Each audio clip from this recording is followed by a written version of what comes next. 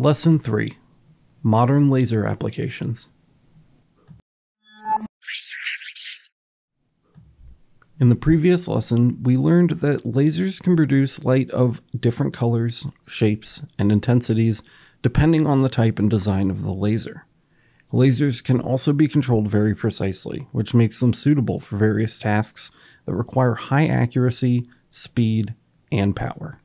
In this lesson, we'll learn about some of the modern applications of lasers and how they benefit different fields and industries. Some of the modern applications of lasers are fiber optic communication. This is the use of lasers to transmit information through thin strands of glass or plastic called optical fibers. The lasers can encode the information as pulses of light, which travel long distances without losing much signal quality.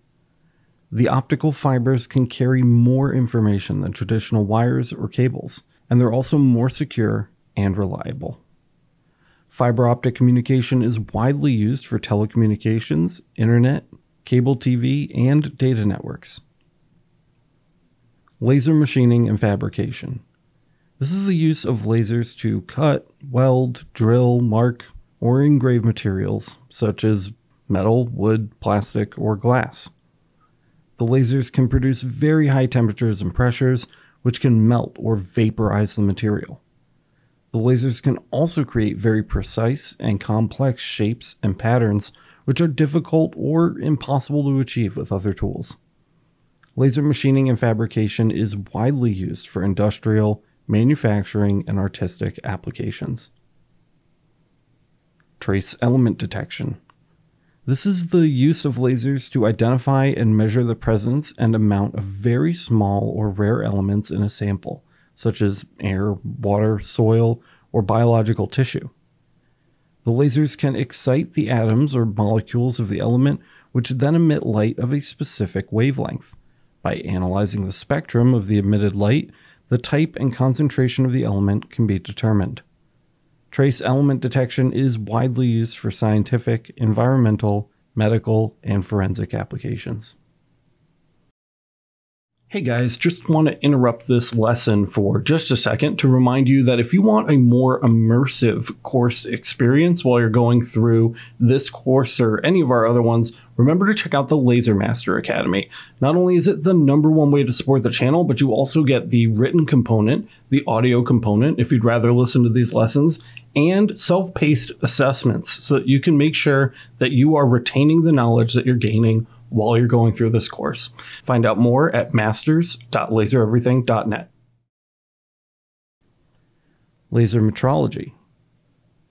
This is the use of lasers to measure various physical properties such as distance, speed, angle, temperature, pressure, or force.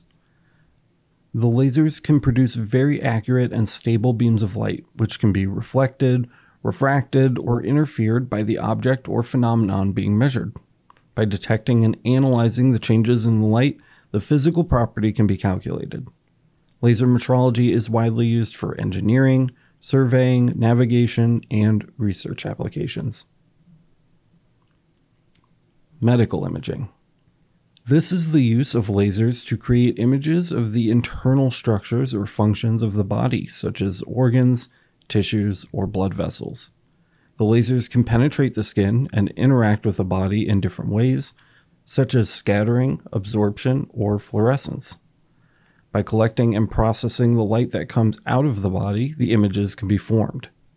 Medical imaging is widely used for diagnosis, treatment, and monitoring of various diseases and conditions. Lasers are devices that have many uses in science, technology, and everyday life.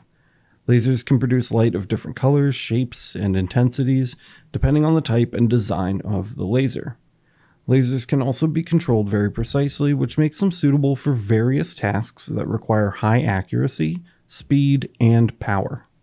Some of the modern applications are fiber optic communication, laser machining and fabrication, trace element detection, laser metrology, and medical imaging. Imagine life without optical media the ability to read and store data on disks, no barcodes at the grocery checkout, no laser speed radar tickets. Well, okay, that's one we could do without. Still, Not a world I'd want to live in. For all their different uses, there are many different types of purpose built lasers. In the next chapter, we'll discuss the various types of lasers and the differences between them that make them unique.